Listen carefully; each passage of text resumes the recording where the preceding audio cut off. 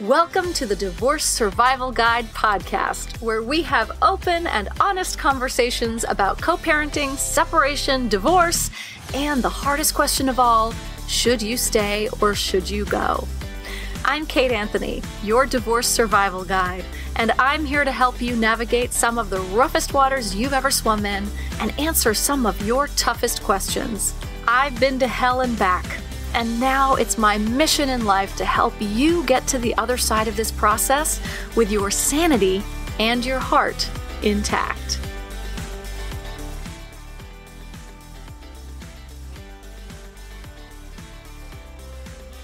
Hey guys, how are ya? Welcome back to another episode. So, this episode concludes our quote mini series on abuse, which really ended up being not so many after all, as I said, I think last week. So, this week I have with me activist filmmaker Ginger Gentile. And she made this incredible documentary called Erasing Family. And it's about parental alienation, but really it's also about the dangers of the court system and the family, family court system and how complicit it can be in erasing families. The movie is hard to watch from sort of an emotional standpoint, but it's also really important. It's really well done. You get pretty invested in um, the families that Ginger tracks. And it's a really, really, really well done documentary. And, you know, one of the things I want to say about it too is that it really does tackle both genders. So this isn't just about, you know, dads being alienated. It's, you know, which is what we hear about a lot, but this film follows families with lots of different configurations. You know, there's a mom who's and a stepmom and there's a dad and his daughter. I mean, there's just all sorts of configurations and I think it's really important to watch. So I really hope that after listening to this episode, you'll actually also go and watch the film because I think it's important from an education standpoint. We have got to be talking about these things. We've got to understand how the, the family court system can get its claws into our divorces and cause huge amounts of harm. Without further ado, here is my interview with filmmaker Ginger Gentile.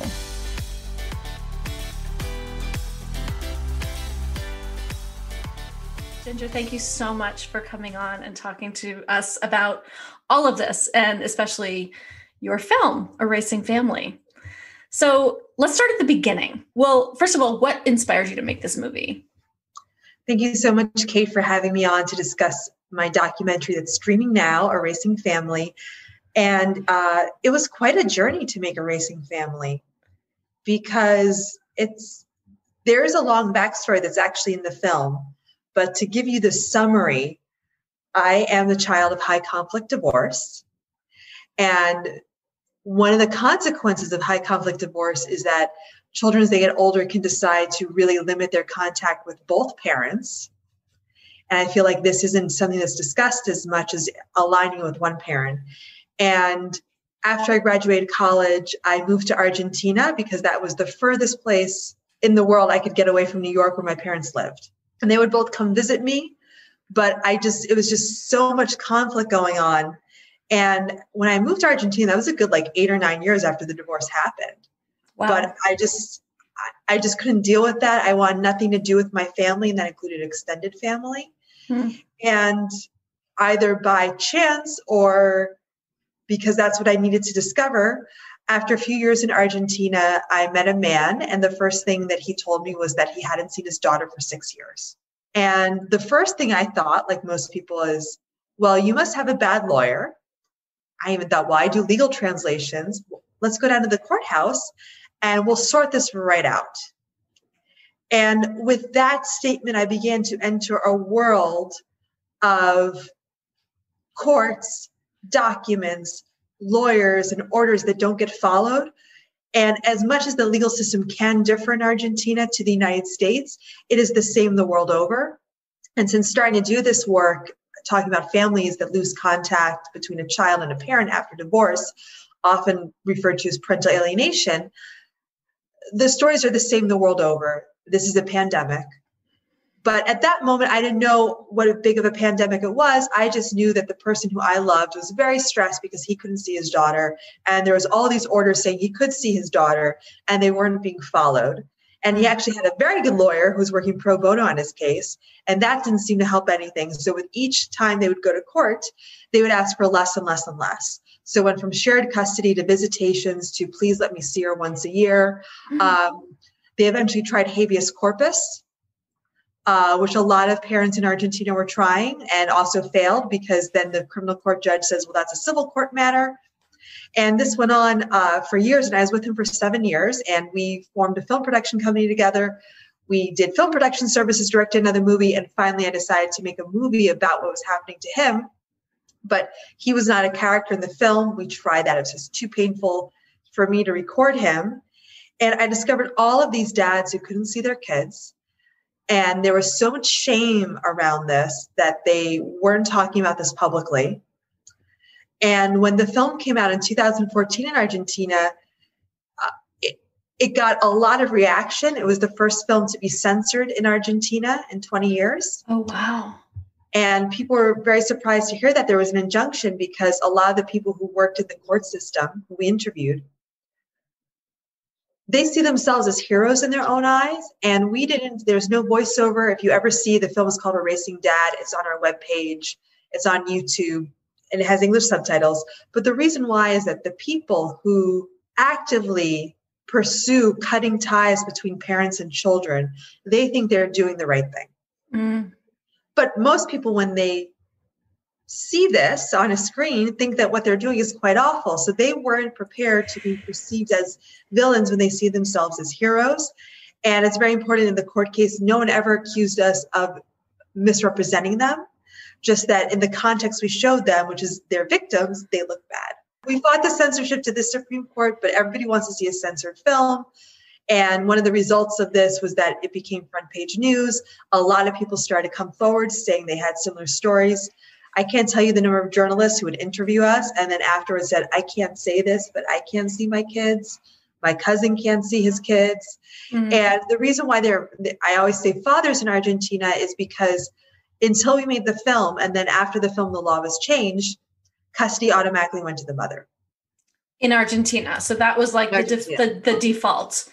Right. The legal default. Right. The legal default unless the mother is unfit and she has and it takes a lot to prove right so so in that film we even have a case of a mother threatening to kill her child which she eventually does and oh. no one no one did anything about it. No one did anything about it. It's all there in the record. And but she's the mom, so right. And and then also, I mean, even after she killed her son, you know, they you know they asked her why'd you do it, and she said uh, to get back at the dad. Like it was, it was very clear cut craziness with all these warning signs that she was in psychiatric institutions and no one did anything, and the, the, all the documentation is is there. So that's that's an extreme case and I don't want these extreme cases to shadow what happens in so many divorces where what we commonly refer to as parental alienation. I want to make very clear this is a pop cultural term. Uh, you could also call it family bond obstruction, um, attachment trauma disorder, uh, domestic abuse by proxy. But parental alienation is a set of behaviors that a parent does to damage or destroy the relationship between a child and the parent. And even though the child suffers a lot of consequences, the target of this behavior is to make the other parent suffer because that's what's most precious to them. Now, the case of this mother killing her, her child is very extreme. And in a lot of cases, it can be very subtle. And we talk about this in the film. It can be referring to the other parent by their first name with pronouns, saying every time the child goes to their house, oh, I'm so lonely without you. I'm sad without you. If you stay with me, I'll do this fun activity with you. Uh, call me if you feel uncomfortable. It's okay. I'll call and check in every hour with you, and then you tell me exactly what happens. And it kind of, it coaxes the child to eventually reject that parent, whether that rejection is in their heart, if they're brainwashed, or there it's a survival mechanism what children who suffer parental alienation learn is that love is not unconditional it's conditional. Right. Yes absolutely. And and just to be clear right they they align with they align with the parent who is doing the alienating right? So the one who's calling and saying right and saying i'll check in with you right? Because it instills fear that like a child thinks well there must be something for me to fear. There must be something wrong with the other parent if that's the, you know if that's what my other mother what my mother's saying what my father's saying whatever. Oh, it's so, um, and I and I appreciate you saying that these extreme cases don't define what this is, right? So it's there's a spectrum, and there's also a spectrum of you know mild, moderate, severe. There are even types of children who suffer from parental alienation. So some are hostages, which means that they don't believe what they're saying, but they know to get with the program or they will suffer consequences.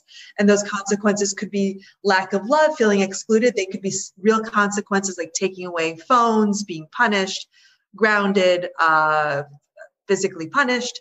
And then there are the brainwashed children who really believe that. I mean, I'm not going to say what actually they believe on their subconscious level, but they take this uh, this doctrine as, as truth and kids might switch back and forth and also siblings might react very differently which to fast forward to the erasing family documentary which i started when i moved back to the us in 2015 i put a post on facebook and i was floored with all of the parents in the us who couldn't see their kids and about half of the people contacting me were moms and i think it's very important to say that parental alienation even though moms are often awarded custody more, parental alienation is not a gender issue. No, it's not. And the reason why people, because people often ask, well, why would somebody alienate the other parent? And and as you saw in the film Erasing Family, we're very careful not to diagnose from afar or to put reasons in people's heads other than what they say. What we do know is that in kind of the easier cases, it's for revenge. And I say easier because revenge is actually a rational response, an unhealthy response, but it's a rational response. Or you're trying to get the child to get an upper hand to get more money or something.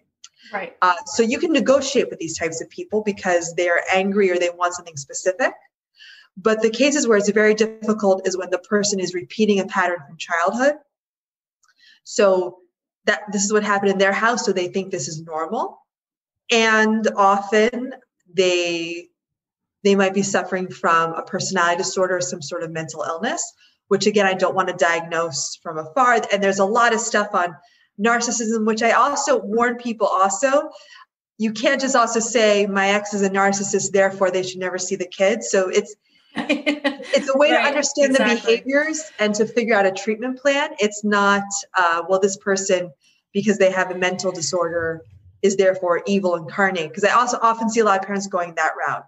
Mm-hmm, and mm-hmm, mm-hmm. the other thing when I started to create the Erasing Family documentary was kids began to reach out to me. Uh, the young, I, one of the girls in the film was 12. She reached out to me. She sent me a message that I'm an erased sister. I can't see my brother. And all the other kids I found through social media. And it took a while to find people who are willing to share these very intimate stories on film. Mm-hmm and that's why the film took a few years a few years to make and i really wanted to make it un unsensational that's not a word. I wanted to make it like non-sensational. Yeah. Because yeah because you can focus on these very graphic cases and i know of a lot of cases that have ended in the us with in very horrific violent detail and I chose to go a route which maybe means you know it gets less publicity the film but to really show the psychological damage that the kids suffer and uh, I am convinced that there's a lot of parents who are doing alienating behaviors who don't know what they're doing in the sense of that they can be reached by awareness and education, even simple things like saying don't badmouth the other parent, which all parents do this in divorce unfortunately, but it, it, it has to be limited. But that's something that can be taught because I think a lot of parents unfortunately think that the kids don't really take it seriously or and also the way that adults process information. So if you tell your friend you know my ex is a complete you know pos you know they might they might sympathize they might talk they might think you know okay you're angry. Kids take that as gospel. Right. And also you're talking about half of their dna right. So their the message is they get is that i must be half bad too. I'm a piece of shit right, right. that's that's yeah. literally what that that is the message they absorb right. is if if my dad's a piece of shit then i am too right exactly so there must be something wrong with me maybe i'll turn out like him mm-hmm. so, so these things can be very damaging and you know, if people take away one thing from the movie and the podcast, it's to really limit the bad mouthing as much as possible. That's why we have friends, psychologists, support groups. Uh, and it can be very hard, especially because a lot of parents say, Well, I want the, my child to know. And children will always find out. They, and they have the right to have their own relationships. Yes. And to find out stuff on their own. Mm-hmm. Uh, but they don't need to know everything that's going on or or be told certain things and and also and i think this angers a lot of people someone might be a very bad spouse and a great parent totally absolutely but but that right. happens a lot you know yeah, yeah no absolutely absolutely my ex is one of the greatest dads I've ever seen. He was a shitty husband, but to me, mm-hmm. but like, oops, but that's, you know, like if I were to, you can't base how someone is as a parent on how they are as a, as a spouse. Right. That's a, that's a, not mm-hmm. an even playing field. And now we're going to take a quick break to hear from our sponsor today. Today's sponsor is SoberLink. Now, the SoberLink system is designed to make parenting time safer with real time remote alcohol monitoring. SoberLink uniquely combines a breathalyzer with wireless connectivity and is the only system that includes facial recognition, tamper detection, and advanced reporting. Parents can submit a test anytime, anywhere, thanks to SoberLink's wireless technology, which delivers test results by text message or email to the concerned parties. Simplify co-parenting arrangements by using the system that provides transparency and proof of sobriety throughout the day. Flexible schedules combined with real-time delivery of results make SoberLink the experts in remote alcohol monitoring technology. And for limited time, get $50 off your device by emailing info at soberlink.com and mentioning the divorce survival guide. And now back to our show. Another interesting sort of aspect of alienation, right, is that it can actually happen, especially when you're talking with like personality disorders and mental illness, right? That it can actually happen. You can be emotionally alienated from a custodial parent, right? Yeah. So, because if there's a if there's a parent with with mental disorders and i don't want to say mental illness but like mental disorders especially personality disorders that kind of thing they're more likely to make a parent make a child feel like they have to choose sides. Like any first of all anytime that we're asking a parent a, a child to choose sides we are putting them in the middle and we're putting them in danger someone with a mental disorder, even if they don't have custody, a child then knows, like, oh, but my love for the other parent is, you know, this is conditional. So I have to, right? They figure out what who they have to ally with. Putting the child in a position which our courts do of asking them to choose, of picking a winner and a loser. And being a custodial parent does not isolate you from the effects of parental alienation. I mean, technically, you can be alienated in an intact married household Yes. And a lot of people say that they saw the signs before the divorce. And uh, one person said something very, very telling when they were still married. His wife's mo- mother died. And she said, Well, if my mother's dead, then your mother should have no contact with the kids because that would be unfair. Wow. But that's so that's an example of an alienating behavior, cutting out one half of the family and, and these creepy. things that's just like a like how do you how do you get to that like you know what i mean like there's no logic there obviously right it's like it's mind-blowing yeah so that's why it's so important that if this is if this is identified when you're going through a divorce or a separation to really make sure that you have a visitation schedule that's super clear. I've seen too many people get warped up into like adequate time, necessary time. Uh, you have right of first refusal, which means that if the kid is going to go into daycare or be taking care of a babysitter, you have the right to have the child at that time. Mm-hmm. And then if things get rough, to not escalate with the conflict, document everything. And then people who have these tendencies, they need very firm guidelines.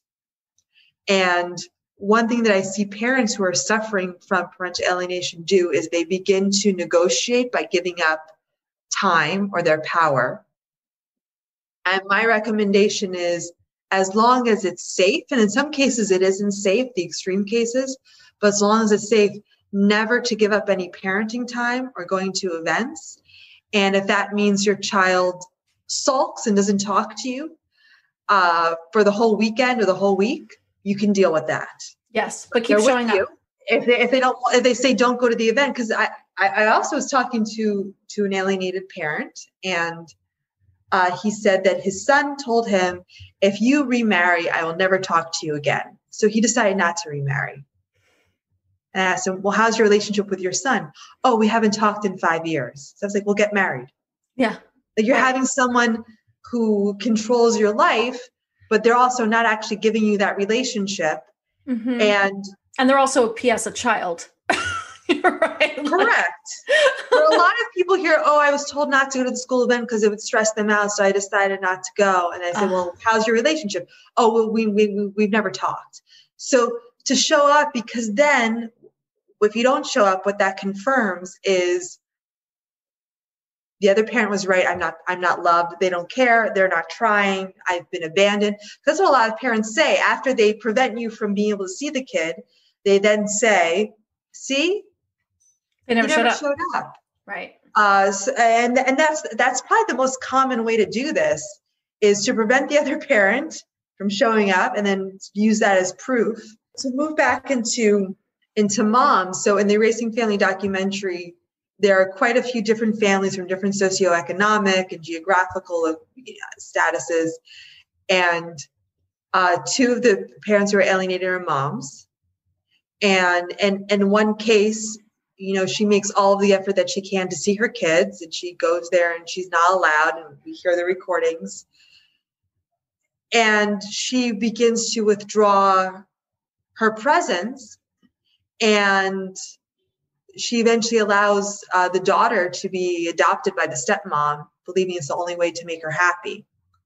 Well, she's also alienated. Like she's told that the children don't want to see her, right? right? So that's what that's why she backs off, right? Because the stepmother says like they don't want to see you, they're not, they don't want you, and so she thinks she's doing the right thing, right? Like she's like, oh my god, my right. kids don't. I guess this is better for them, or another takeaway for your listeners if if this is happening when you do see your children whatever opportunity you get to make it as fun as and light as possible because having talked to her son he said he he chose to stop seeing her because it was so stressful. There was so much fighting the exchanges but then she would get into this why don't you want to see me? You know so it becomes this whole mm-hmm. morose thing right and and kids especially teenagers don't want to discuss their feelings so I, I always advise parents to, even if it's just texting, never say, I miss you. Um, I'm heartbroken. I'm so sad. But just to like share fun stuff, even if it's nothing to do with the relationship, like mm. a funny video you saw, a funny TikTok, a photo of like a funny sign. And then it, you can also share like fun memories, like photos of like, oh, remember like five years ago we we sled in the snow here's a photo stuff like that but not like i'm always your mother and i'll never stop being your mother and i miss you and i birthed you like pressure that's a lot of pressure lot right of pressure. yeah right. a lot of pressure mm-hmm. for the mm-hmm. kids so, so to keep it light and any time that you have even if it's a phone call or texting to keep it to keep it light that's really good advice actually. I think that's really smart. That's really smart because it establishes yourself as a not stressful parent right? Even though like everything in you probably wants to like set the record straight and you know let them know that like no i showed up like 40 times or whatever right? It's maybe actually not in the best interest of the children's mental health to do that. Right there's something so great that you point out in the film that you know the court system always talks about what's in the best interest for children but then literally never legally defines that. Right. So it's you know which how i don't know how they could but because there's so many different you know variations on that but they're constantly talking about it and yet it's completely subjective. Judicial discretion is just another word for bias. And a judge can be biased against mothers who work a judge can be biased against fathers. A judge can be biased against certain racial groups ethnicities religions. And most in most cases the judges don't have to justify the decisions they make. They can kind of decide anything.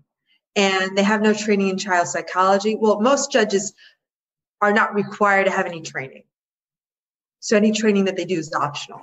Mm-hmm. and this really creates a a very weird system for deciding matters of, of children having non-experts who have tons of cases on their dockets. We interviewed one judge in Erasing Family who said he had 2000 cases on his docket. And that was in orange county which is not a poor area of the us right. So uh, you can imagine what it is in other places. And they're making these snap judgments that affect an entire family and then to throw something else in the mix in a lot of jurisdictions kids as young as 12 can decide who they want to live with or whether to see a parent ever again so they're they're able to make these huge decisions they don't really understand what's going on they feel incredible pressure there's a lot of kids who talk in the film about this pressure to testify to say things before a judge and then feel really guilty afterwards and and lie and, and lie. actually lie right yeah to to make right. the the parent happy who's sitting in the courtroom right there. Yeah, so that's why a lot of people who know a lot about child psychology say that a child should never be asked who they want to live with. They shouldn't be brought in to testify. They should not be in those courtrooms. They shouldn't be anywhere near the courtrooms. I've been in oh i you know if anyone's ever had the you know quote pleasure of sitting in on you know sitting in family court or dependency court and you know i have i have had the experience of of one judge saying we need to remove the child before any of these proceedings continue. And then the next time we were in court different judge same kid had to sit there and listen to the whole proceeding. And it's devastating.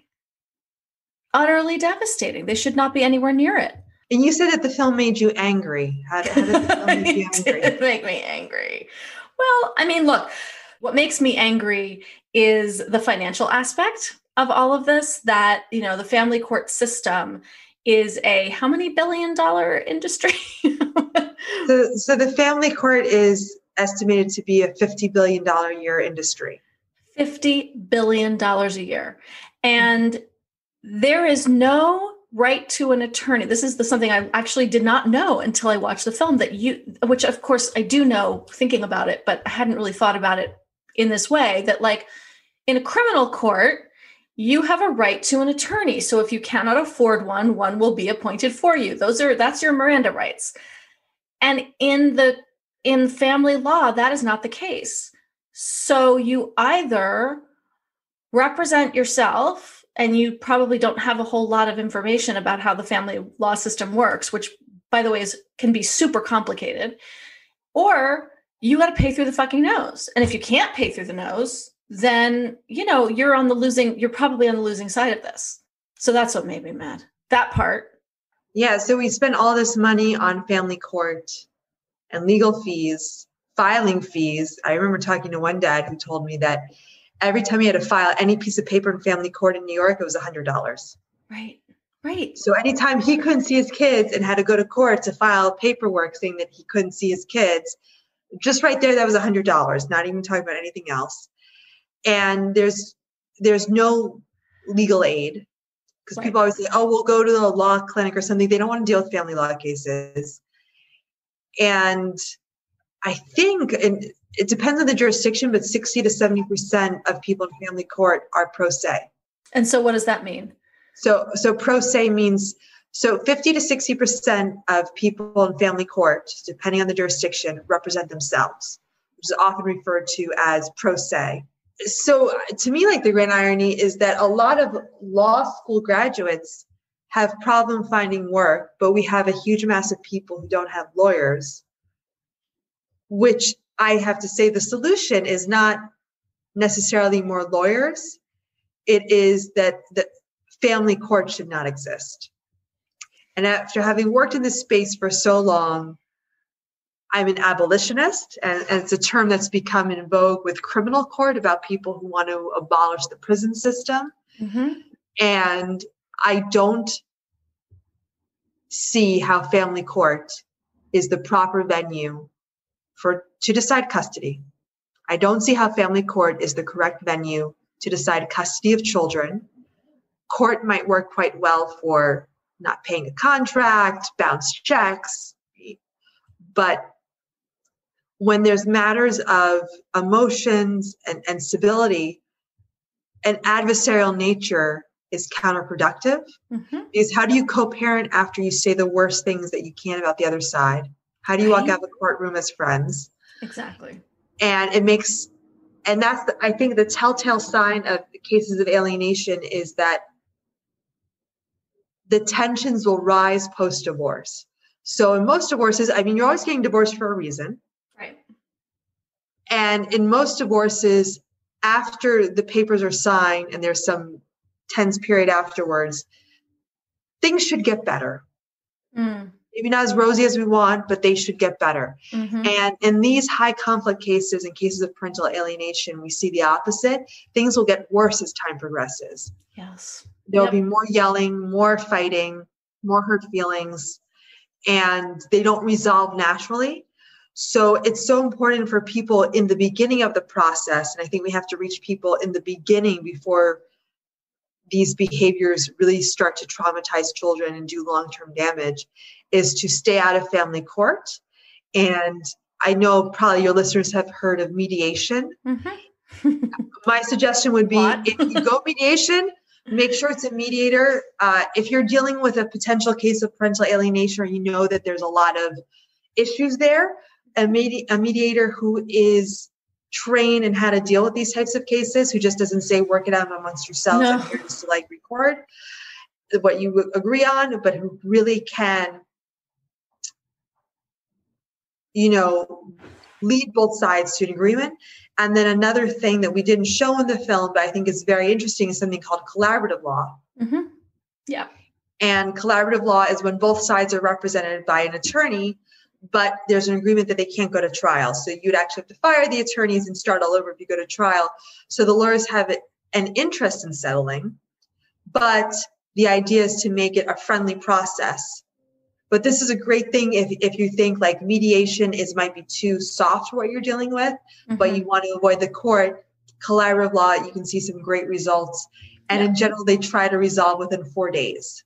Whereas a trial, I mean, it can go on for months, years. Years. court date. Years. I think one of the things that was really interesting. There was a. Um, I think there was one of the judges in the film that says that, you know, when you mediate, or and I think the same can be said for collaborative, uh, the collaborative process. Um, everyone has sort of buy-in about the result. So eh, you know, eh, people compromise, and you don't, you know, not everybody wins, and you know, people, you know, you win some, you lose some, and you kind of come out the other side. But everyone has has a buy-in with that result. But in litigation, you're coming out the other end, and someone doesn't have any buy-in, and so they're not incentivized to comply. right. right. They're more incentivized to refile to find some reason to go ex parte to something to start you know this ball rolling again mm. down the line and you know the other thing that made me so mad is about you know so the sh- so let's well let's talk about shared parenting let's let's start mm. talking about why shared parenting is so important and why it's having so much trouble being passed in various states. Is it is it state? Is it a state issue? yeah, so it's state. It's state by state. So shared parenting, which a lot of people might know better as uh, joint physical custody. So it's equal or near equal timeshare. A lot of people say 50-50, but technically anything above 70-30 is considered shared parenting. What people are trying to get the law to say is that shared parenting should be the default, which means that's the starting point. And unless there is domestic, physical, sexual abuse, it, you start off with shared parenting. Now, the parents can agree to something different. Science for geography or a variety of reasons that won't work, but that the judge isn't automatically going to decide that one parent gets the cust- gets custody and the other doesn't. Mm-hmm. Now, there's only two states in the U.S. that have this. Well, technically one, which is Kentucky, and they have a default shared parenting law, which has been quite successful. Divorce filings have gone down. Incidents of domestic violence have gone down after the law has been passed. Really? Well, if you think about it, huh. conflict yeah. creates violence. So right. if you have less conflict and people There's less violence. kids. Yeah. Right. And then the other state is Arizona, which doesn't have a default shared parenting written into the law with those words. What it has is that judges must maximize parenting time with each parent, which is essentially works out to be the same. Research shows this is the best for kids. Kids, when they're polled as young adults, wish they had more time with each parent. And we have polling data that just came out from the National Parents Organization that shows it polls in, in different states always higher than 91% of the population supporting this. In Florida, for example, is 99% support, which is incredibly high mm-hmm. for anything. That's crazy high. So why on earth is only Kentucky the state that has shared parenting? And these laws, people have been trying to pass these laws now for 20, 30 years. And that's because there's a lot of money in divorce. Mm-hmm. And there's a special interest group called the, you know, the, the State Bar Association, the family lawyers who say, well, and this is true, if people agree to this, they can have it. The problem is that when the cases don't agree, there's a huge incentive to fight for custody. So what we're seeing in state legislatures is this legislation being blocked by special interests because lawyers make money the more hours they bill.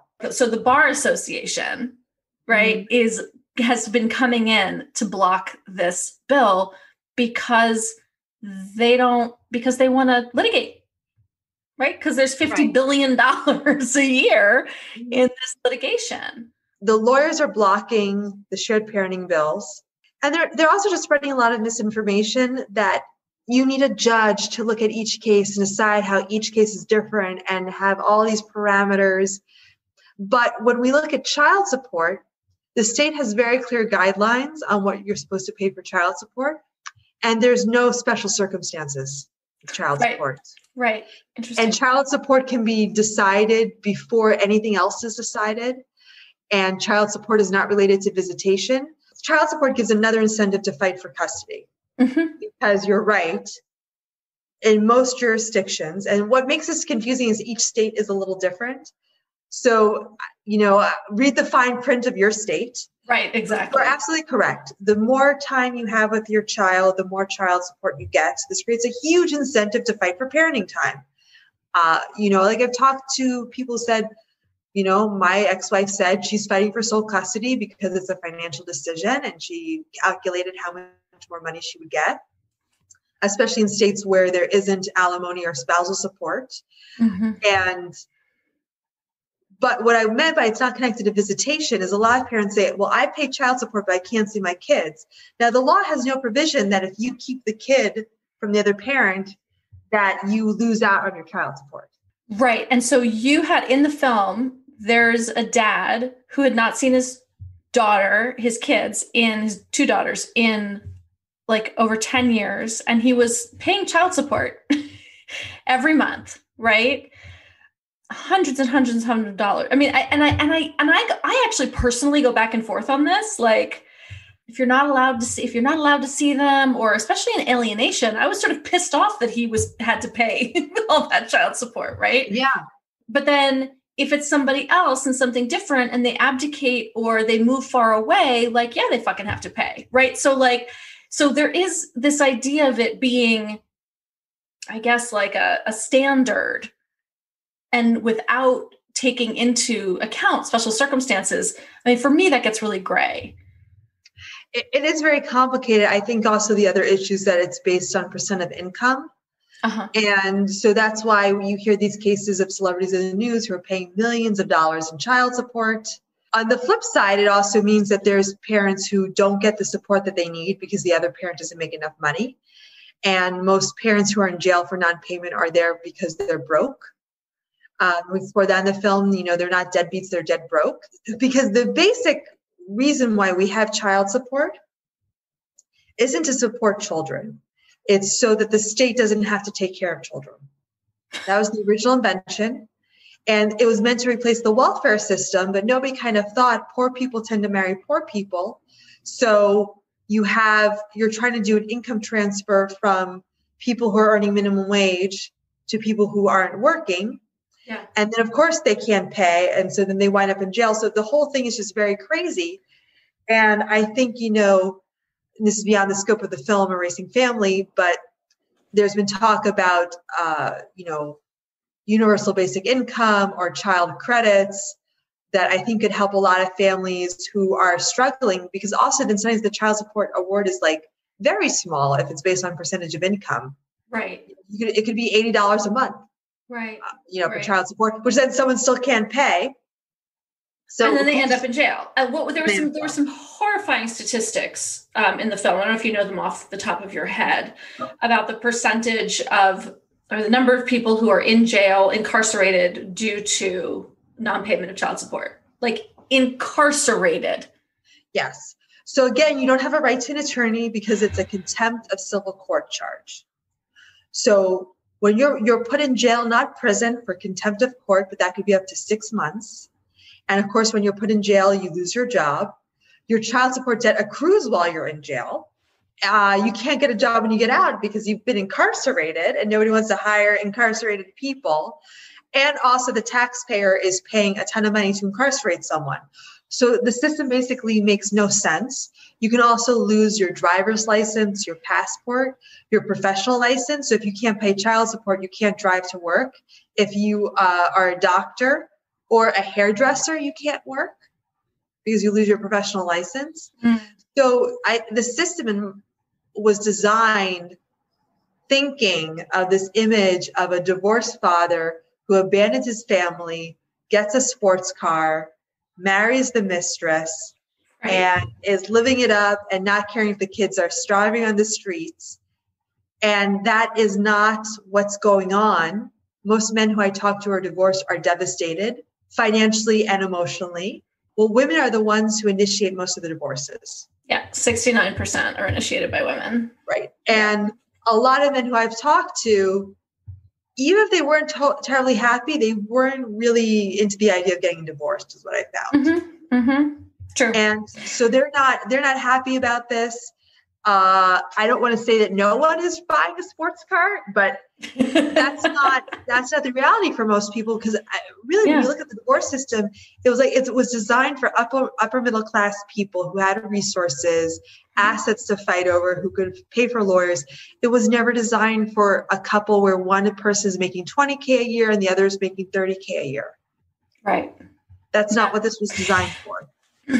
And then there's something else in the in the film where you where you talk about actually like where's the money going? Because if you're paying child support into the system, like if you're if you have to pay the system and you're not just paying directly to the spouse, right? the spouse ends up the ex the ex does not or the other parent actually doesn't get all that money. Right? There's a because, yeah, there's the a hole takes, there. Right. So the state takes off fees, which can mm-hmm. be quite mm-hmm. high. They might charge interest, which in a lot of states the interest doesn't go to the parent who is owed that. I, it was interesting because so there's one story in the film where the dad has this huge child support debt of about thirty thousand, and he doesn't make a lot of income, so thirty thousand to him is a huge amount of money. Right. And he's talking about all that he has to do to pay this, how he's been arrested for non-payment, how he's lost his driver's license, and but the worst part is that it's not going to his daughters, but it doesn't mean that it's because my ex is spending it. It's mm-hmm. not going to anybody. It's going to the state coffers because it's overdue. And then when I finally sit down with the mother, she said she had no idea that he was paying because she never saw any of it. Wow. It never even got to her? No, because I mean when he says in the right. this this goes to the state. Yeah, he means it goes to the state. Yeah. Yeah. And she never saw it because it was overdue interest Oh, and, right. I see. If, yeah, if he's paying interest, back the interest. Yeah, right. Right. And also the interest compounds so highly. I think his original debt was maybe one or two thousand dollars, and it balloons up to thirty thousand. Yeah, it's like and, a payday loan. yeah, like yeah, it's insane. So it's it's just something where it's kind of good good intentions but unintended consequences designed for a different world that we live in now where both parents tend to work where we are dealing with a lot of divorce with people who don't have assets. We're also dealing with a lot of child support cases of never married parents. 26% of children in the us are not living in married households. And trying to decide custody and child support with between two strangers is very difficult. And that's what i heard is like kind of the storm that's coming is people having kids without outside of relationships right and then the dad wants visitation and i know most of your listeners are women but for any men out there shocking fact if you are not married you have no rights to your child in this country and you actually have to prove paternity, right? You yes. don't have to prove maternity, but if you want to have if if you go to court or whatever, they'll call you the, the presumed father, and as long as nobody contests that, you're fine. But you actually have to pr- pr- prove your paternity by like you know turning in documents or whatever, or taking a DNA test.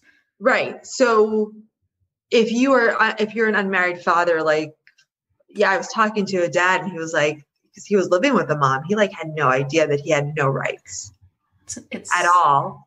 Yeah. Uh, because you're just seen as, and, and in this, the U.S. is very behind other other countries. Yeah, you, you have a great. I love that you put in the Swedish system in the film it, it's just it's so remarkable you see this swedish couple and they're just like sitting in their kitchen or their living room with a piece of paper and they're like okay you sign this you sign this cool we're done and it's like we we could never right? I mean i suppose we could but so much would have to change to make that possible. Right. Well there's just an assumption in sweden that you don't go to court. Right. So that doesn't mean that there's no cases of parental alienation in sweden. There are. Hmm. but most people never see the inside of a courtroom and they never hire a lawyer. And also child support is determined on the needs of a child of the child, not on not based on income. And I forget exactly how they do it, but basically you pay for the child when they're in your care. So it's much more equitable. Hmm. Uh, and and kind of the state sets a, a, a level that must be met but it's it's like about 400 euros which would be like $600 a month per child right so right. that's so you can't be paying you know tens of thousands of dollars in child support. But but just there's also a cultural message. So what's interesting in sweden is sweden does not have default shared parenting. Hmm. but there's a social stigma if you don't share custody. Hmm. and it's just assumed that you will get along after divorce for the kid's sake so people don't like the whole lawyer up, destroy them. They're like, you got into this mess. You you you know you deal with your ex. Yeah, figure it out. Right. Be grown ups and figure it out. Mm-hmm. And I mm-hmm. think that the U.S. We, we would have that too if it weren't for the family law system. Exactly. Right. I mean, if it was not for an ad, a system that sets up this, you know, systems of, of being adversarial, we would probably have the same expectation too, because that's what makes sense. Right, exactly. I want to say this that I think it's a I think it's a really it's a great film. I think it's an important film for people to watch um, who are going through this process because it really kind of shows you where the pitfalls are. And I like that you know you definitely have some extreme cases, but then you go right into you show that there are also ways in which that you can get sucked into you know inadvertent um, alienation that are not very not these extreme cases. I think it's important for people to watch the film and to see if they recognize anything. And they might recognize that they're doing some of these alienating behaviors. So one of the people with good news is that we all suffer trauma but by removing the thing that traumatizes us which if it's a kid access to both parents therapy coping skills it's not a death sentence, it's not a life sentence to suffering. That this, these things can be overcome, and if people are participating in these alienating behaviors, they can stop, they can get help, they can talk to a therapist about how to not unload these negative emotions on their kid. And also, if someone is alienated right now who's listening to this, the film has happy endings. And reunification is possible. And I always tell parents don't think about the days you can't see your kid, think about the days until you see them and prepare for that day so that you're he- healthy, happy, and strong. Because a lot of times the, the reuniting comes at an unexpected moment. In the film, one of the main characters, she shows up at her dad's salon randomly one day. Right. And if you're still angry and hurt and destroyed and broken on that day, that reunification might be very short lived. And I think people, they put so much emphasis on what it's going to be like when we finally see each other. They don't think about what comes next. And it also, you're asking your child who's been taught so many awful things about you to take a huge leap of faith. So you need to really be able to show up. Yes. So self care is utterly important. And another thing that a lot of people listening to this might get out of the film is I'm assuming that your listeners who are now moms at one point were kids. Mm. And if statistic bears out, half of them are the children of divorce. Mm-hmm. Maybe more because people who grow up with divorce are more likely to divorce. And it's possible that they have some unhealed issues with their parents. And if they watch the film or share it with people who they know have unhealed issues with parents who maybe aren't talking to one, the film really is designed to help young adults heal, to give them that aha moment, to understand that their parents maybe made some bad choices, but the system was not helping them. And that the best thing you can do is forgive, um, accept your parents for what they are, which might be that they're very limited, I always say you can love your parents, you can hate your parents, but don't erase them, which means that sometimes relationships are messy. Sometimes they're not happy. Sometimes you have to put limits. But what we need to avoid is that's not my mom. My stepmom is my mom. That's not my dad. That's my sperm donor. And I'm very happy with my father figure. That's what we need to avoid because that is a form of psychosis and it's very damaging for children. Because especially if that if that other parent has negative traits, which everybody has negative traits, newsflash, they will not uh, they will keep on repeating those negative traits until they see them and deal with them. Um, I mean, I spent years where I didn't talk to my dad, and my dad, he's passed on. Not a generous person. Mm not a generous person with time, not a generous person with money. And I now am a generous person, but that's only after I reunited with him and said, gosh, I don't want to end up like him, not generous. You right. know, like I need to, I need to start helping out my friends when they ask and like donating right. money and like, you know, being there. And if people want to watch this film, the easiest thing to do is to go to our website, erasingfamily.org. And there you will have all the links to all the platforms. So the Film Erasing Family is on iTunes, Google, Play, Amazon, Vimeo. It's free to stream on Tubi, which is a new platform, and Tubi works with Roku. So if you have a Roku or a smart TV, Tubi will work. And it's also free to stream on YouTube.